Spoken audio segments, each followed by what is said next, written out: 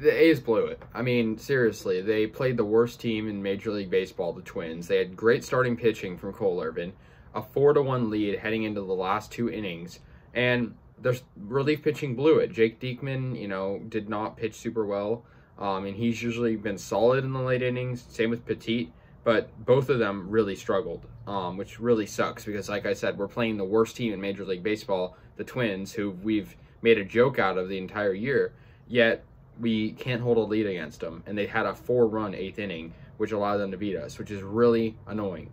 So yeah, the A's started out really strong. Matt Olson got a two-run homer to open the game up. Um, it was a really really nice homer. You know, obviously the A's bats been really really consistent in this series so far. Good homer to right center.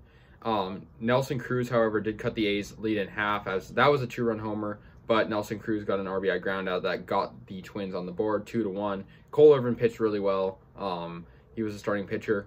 Uh, Ramon Laureano, however, got a uh, RBI single, made it three to one A's, and that scored in Mark Canha. And Mark Canha also had a really good game. Um, he actually scored the next run with a solo homer in the fifth, made it four to one.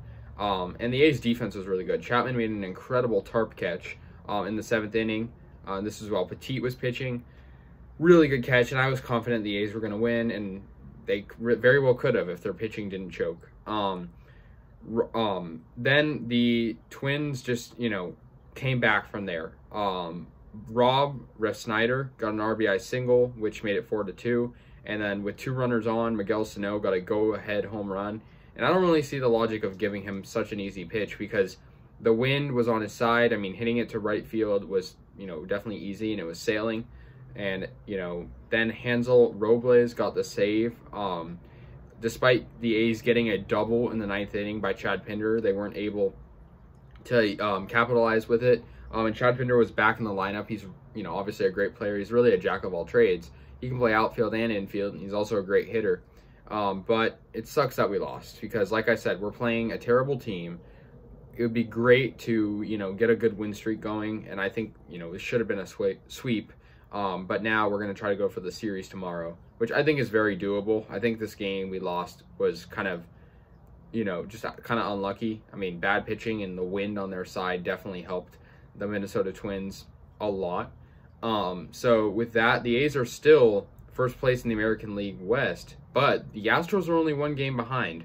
We got to be careful. I mean, the Astros were terrible weeks ago, and now they're coming back. Um, we they have we us and the Astros have the same amount of losses, but the Astros have two less wins than us. So we got to win and hope that they lose. Um, but yeah, um, and also the Red Sox are still winning, so they're we no longer have the most wins in Major League Baseball. Um, in the National League, in my opinion, is kind of a joke. Like the best team in the NL East has 18 wins, um, so that's pretty stupid. But anyways, bad loss for the A's, comeback victory for the Twins as they had a four-run bottom of the eighth and the A's were unable to score in the ninth despite having runner in scoring position as Robles is a great pitcher. I mean, getting a strikeout on Lowrie, getting a strikeout on Piscotty is not easy to do. Um, so he was able to execute that perfectly. Um, and yeah, so like I said, A's moved to 24 and 17. The Twins are 13 and 24. Absolute joke of a team. Uh, but we're going to play an early 11 10 a.m. game tomorrow against the Twins in Minnesota. And then we have a big, big series against the Astros. And if we you know, get swept to the Astros, we're no longer first place in the division. So we have to win tomorrow and then play really well against the Astros in that series um, because we got a lot of divisional games coming up. Pretty much like the entire next month, pretty much the entire rest of this month is is divisional games. Um, so really important um, to win. And yeah, so final score five for the Twins, four for the A's as Sano comes up clutch and the A's are unable to hold that lead. Cole Irvin pitched great. Um, he hasn't really had a bad game all year. It's usually just like his team that's not playing well that, you know, ultimately makes him lose.